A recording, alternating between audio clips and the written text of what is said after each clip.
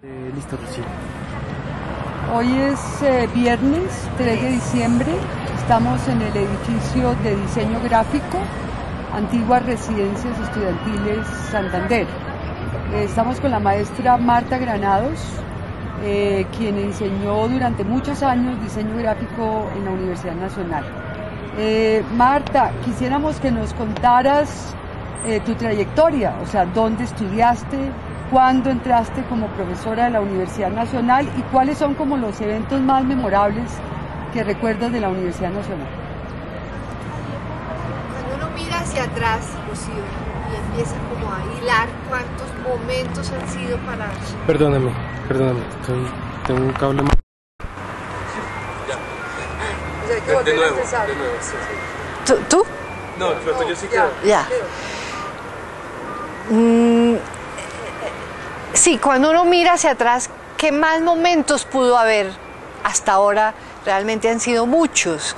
Y a nivel mi preparación, pues son como varios, varias partes, varios fragmentos. Inicié en la Javeriana, pasé a la Universidad de los Andes, luego fui a la Escuela Nacional de Artes Decorativas en París. Y mi último gran momento a nivel preparación fue en St. Martin's School of Art en Londres, con una beca del Consejo Británico, hecho que fue muy enriquecedor para mí.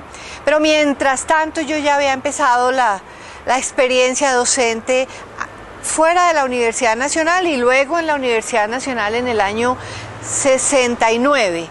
Y desde el 69 hasta cuando me retiré, que esto hace año y medio, pues muchos años pasaron, muchos años de enriquecimiento mutuo. Yo miro con un sentimiento muy grato lo que fue lo que fue el desarrollo de todo ese suceder en que quien primero aprendía era yo, porque realmente si miro hacia atrás, pues eh, faltaba mucho por entender y por conocer. Entonces estar junto a los estudiantes, tener que afrontar el hecho docente era un reto para mí. Y en esa medida se pasaron tantísimos años en que si de alguna manera yo enseñaba, también aprendía. Y siempre fue así. Siempre fue una aventura creativa, viva, nunca repetitiva. De eso creo que me, me salvé con mucha suerte y siempre fue muy vivaz y muy experimental y muy aventura. Trabajábamos dentro de la aventura creativa. Me gustaba muchísimo mi, mi, labor aquí en la universidad y los últimos años fueron en este edificio. eh, al cual se pasó diseño gráfico. Yo creo que fue durante la primera administración del rector, del doctor Palacios. Eh, antes estábamos en la Escuela de Bellas Artes allá en arquitectura. Disponíamos de unos de un ámbito arquitectónico diferente. Yo miro a veces con nostalgia lo que fue esa época a nivel espacios, porque mm, primero estar cerca arquitectura, cerca bellas artes, yo pienso que era una buena vecindad.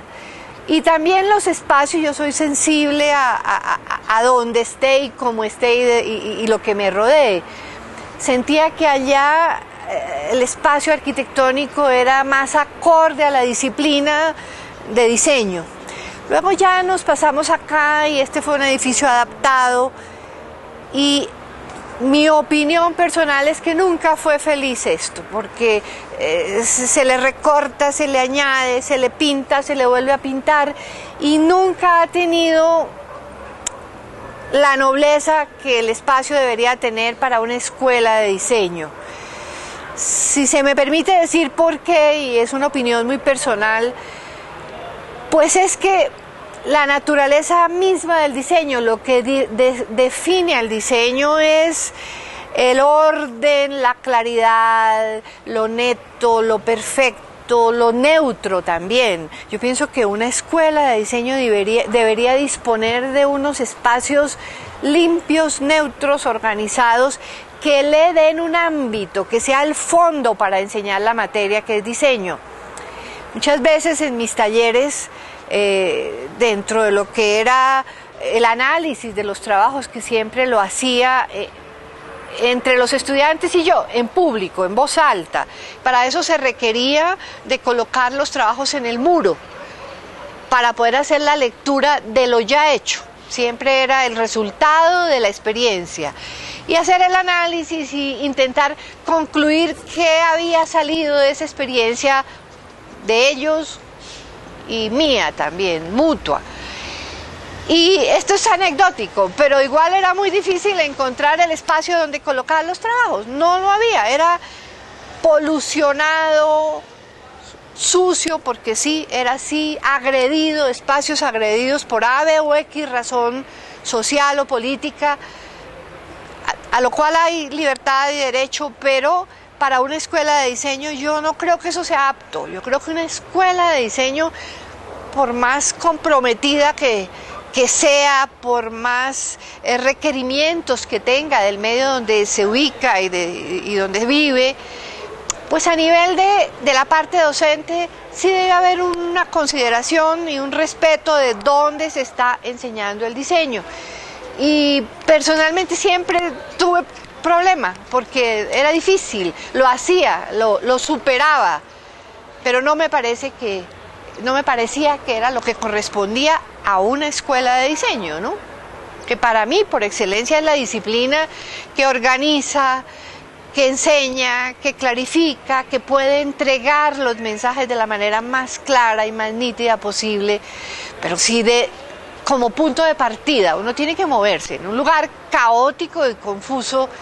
Pues yo creo que para los estudiantes también era muy difícil. Sin embargo, dentro de esa situación hacíamos lo mejor que podíamos, ¿no? Yo creo que para ellos era un gran esfuerzo, como lo era para mí. Sí lo era, porque, porque era, era una lucha, ¿no? Una lucha de nivel básico, casi de, sobrevivencia. A veces provocaba decir, no, chao, no puedo, me voy, pero nunca lo hice, ¿no? Profesora, eh, referente como a las prácticas políticas que usted acaba como de mencionar. Las prácticas políticas, o sea, usted acaba de mencionar los espacios, las paredes, digamos, pero pues haciendo como ya referencia a su época, ¿cómo vio también en la trayectoria de docente este tipo de prácticas por parte de los estudiantes? Eh, bueno, era así, el edificio siempre estaba tocado por ese tipo de preocupación. Eh, yo se me hacía muy evidente la preocupación política a nivel los muros y nada que hacer, pues eh, así era y yo, yo, yo lo aceptaba de alguna forma y dentro de eso hacía mi clase. Pero a nivel mis talleres, la preocupación mayor para mí no era la política, era la, era la creativa. Me parecía que si había un desarrollo creativo, si en los talleres se despertaba la creatividad, que era para lo cual estábamos en la escuela, no para hacer política, pues esos estudiantes después salían tan suficientemente preparados para hacer política o el diseño que fuere del caso. Entonces mi preocupación era la preparación y el, la motivación creativa en los talleres que, para los cuales tuve mi turno y de los cuales fui muy contenta de poder afrontar. Y siempre con resultados, ¿no? Siempre. ¿Los estudiantes nunca solicitaron unas condiciones eh, físicas y espaciales adecuadas para los talleres de diseño? No, y eso a mí me sorprendía porque, bueno, es como un nivel de conformismo, ¿no? Eh, se acepta, se aceptan las cosas y al aceptarlas en esa forma también se deteriora, ¿no? Porque si el espacio no es el ideal, entonces, ¿qué más da botar el tarro de tinta, rayar la mesa? Es decir, deterioro, a, deterioro viene más deterioro, no es motivante. Y en eso nos íbamos conformando por desgracia, por desgracia, porque yo sí eh, creo que debería ser al contrario, es decir, esta debería ser la facultad más perfecta de la universidad. Y es al contrario, en espacio arquitectónico y en mantenimiento, aunque el mantenimiento tratan de hacerlo, pero es casi en contravía, ¿no? Es decir, hoy pintan y al otro día ya está lleno de grafitis. No siempre los grafitis mm, inteligentes como tocaría, sino más bien agresión al muro, ¿no? Lo cual es poco inteligente. En ese sentido, entonces, pues no sé, como desde la visión del diseño, ¿cómo usted clasificaría los grafitis de la universidad? Como, eh, en su contorno espacial, ¿cómo, cómo los clasificaría? Yo no tengo un conocimiento suficiente para, para dar un juicio exacto sobre eso. Lo poco o mucho que vi, de lo poco o mucho que vi, muchas veces pensé que era una manera de, de mostrar una protesta, unas veces fundamentada y otras veces no. Ya yo, yo pienso por el simple hecho de, de que aquí pasa así, pero en otras universidades no pasa así, aunque se tenga una, un criterio político. Yo pienso que, que no, que eso desborda, ¿no? Eso no, no es por ahí. A mí me parece que no es agrediendo los muros que el país se salva, ¿no? Yo pienso que es trabajando y superando los niveles intelectuales y creativos y artísticos. El aporte, a mi ver, es de otra manera. Y no, ante un muro yo nunca me afrontaría, ¿no? Profesora, y, frente a eso, ¿cuál es el, lugar que usted más aprecia aquí de- del campus ¿El lugar más significativo para usted o los lugares?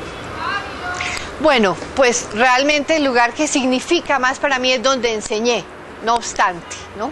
Es aquí, aquí fue la vida, entonces eso significa muchísimo. Eh, valoro mucho el campus y cuando lo mantienen bien, el verde, los, los caminos, la, la limpieza, eso significa muchísimo. Hubo otras épocas en que la universidad no estaba bien mantenida en el campus. Recuerdo cuando vino la primera vez el rector Palacios, se tomó como conciencia de que había que mantener el verde, limpiar las fachadas. Yo, yo recuerdo ese momento como algo que, que no era así antes.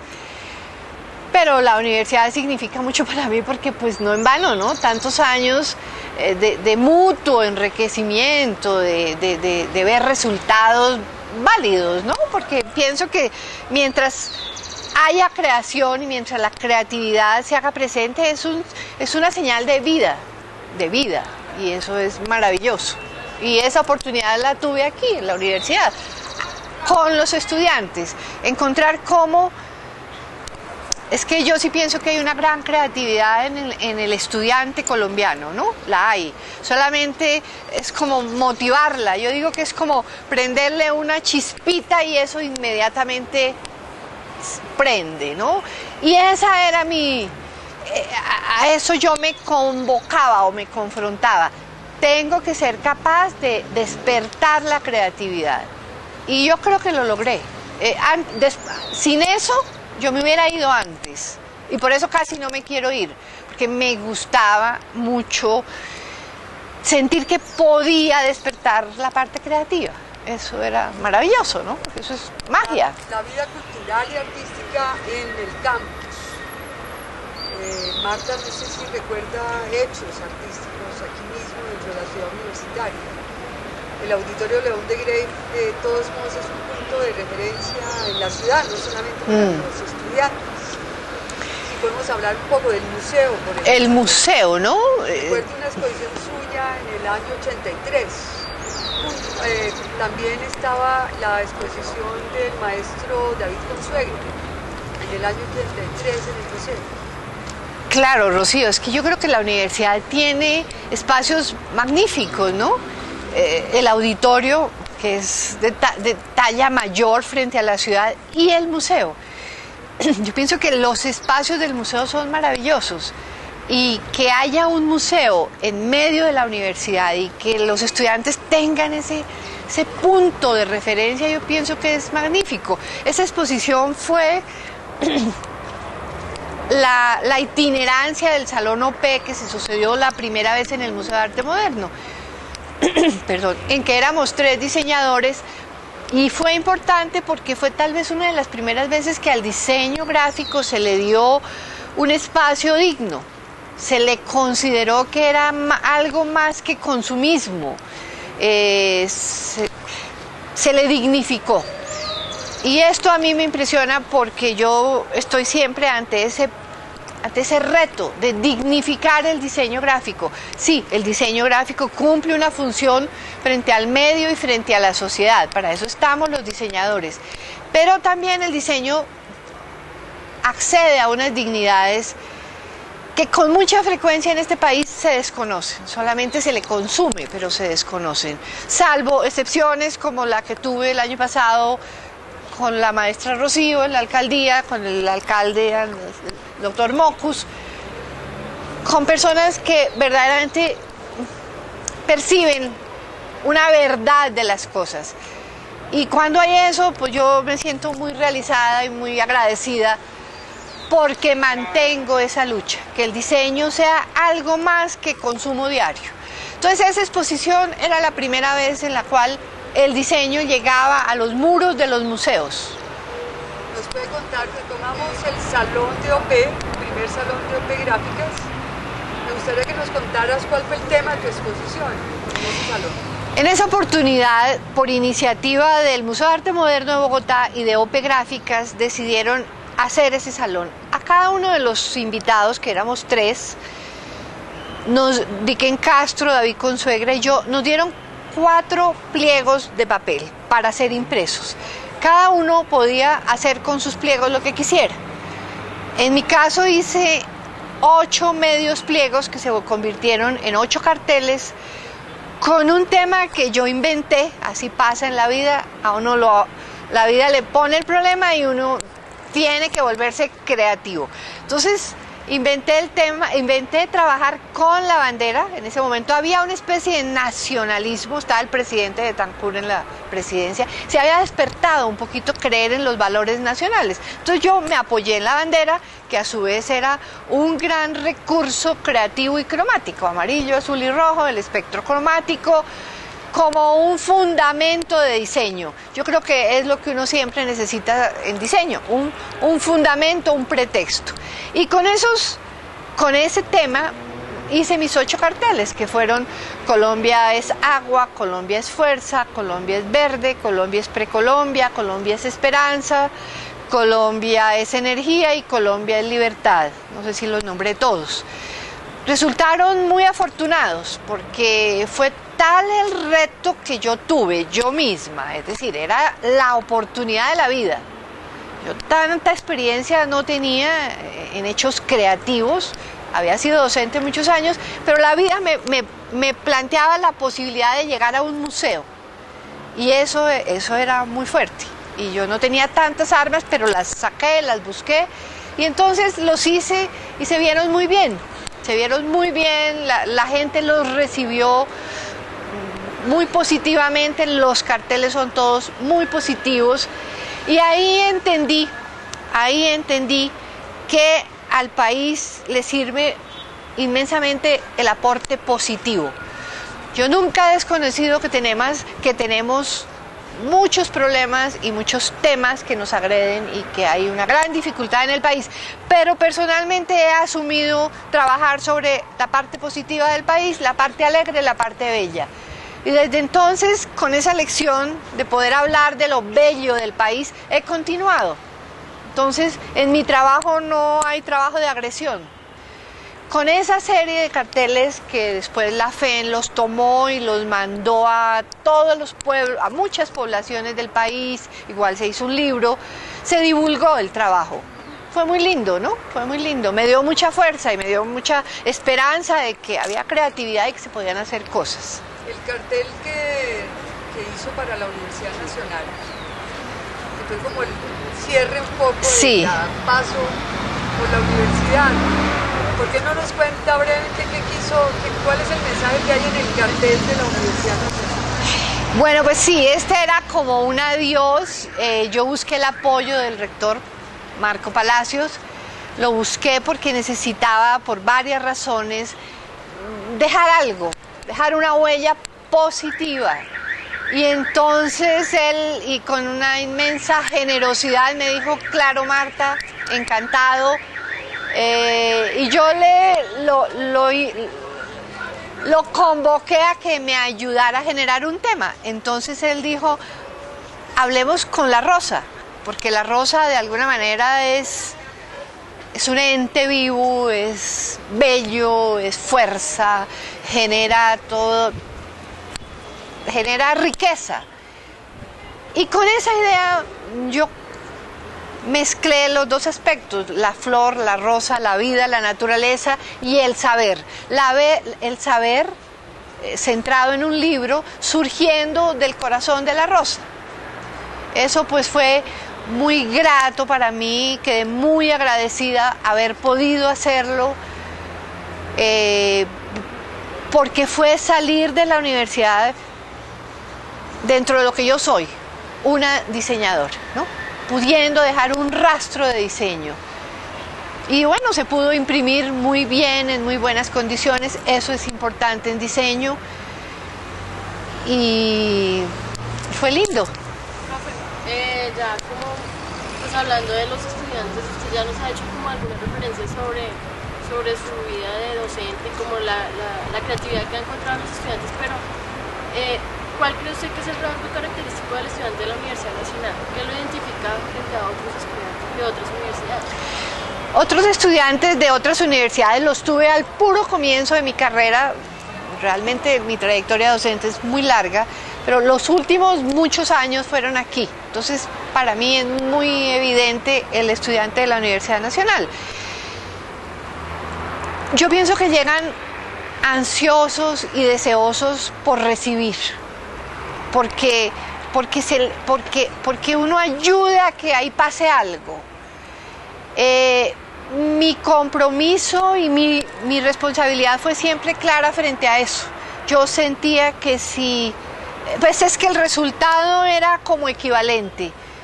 A mayor, a mayor fuerza mía, a mayor motivación mía, el resultado venía equivalente. Cuando yo bajaba la intensidad en eso, el resultado lo tenía. Entonces, ese fue mi sensor siempre si el trabajo estaba bajando de intensidad era porque yo no estaba dando lo que tocaba. Si yo llegaba a la clase con mucha fuerza, con mucho entusiasmo y todo eso sobre la gente, ahí aparecía el resultado. O sea que la, eh, que la, sensación es de que a uno docente aquí en la universidad le entregan un grupo de jóvenes deseosos, ansiosos de, desarrollar su espíritu y su creatividad. Está en uno de que eso sea y llegue, si no en óptimos resultados, sí bastante, sí bastante. Eh, siempre, siempre lo tuve muy claro. Había gran responsabilidad de mí como docente. Y cuando el resultado venía generosamente en unos estudiantes más, en otros, a mí me encantaba, ¿no? Porque eso era como ver florecer. Yo decía que a veces que este país es muy, cuando la tierra es muy fértil, eh, basta la chispa y eso prende, ¿no? Y fértil en todos los sentidos, en lo que ya sabemos también.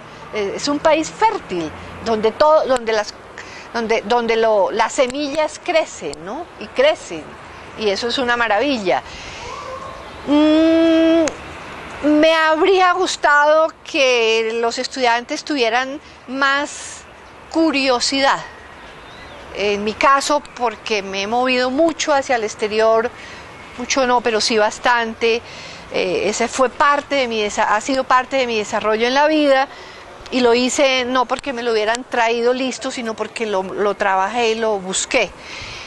Me sorprendía de que los estudiantes no lo inquisitaran a uno más, lo cogieran, le preguntaran, le, le sacaran todas esa, esas vivencias y esa información. No, eso no pasaba mucho. Si uno contaba, ok, bienvenido, pero no había como esa curiosidad y esa sed. No sé si por respeto o por conformismo o por qué. Entonces, eso fue tal vez un desperdicio, ¿no? Que yo hubiera podido transmitir más, pero no. Eso implicaría que hay mucho ensimismamiento y mucho localismo, o sea, poca conexión con el mundo internacional. No, sí, eso claro, pero no sé si hay una timidez tal vez en los estudiantes.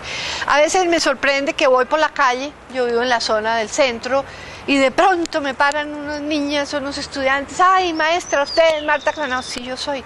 No, pues qué, a la orden. No, es que en la Tadeo nos piden que consigamos, que buscamos. Eso por la calle. Y aquí yo estaba y no, lo que hacía en la clase, pero no más, ¿no? sí. Perfecto. ¿Sí? Creo que salió muy, muy. Sí.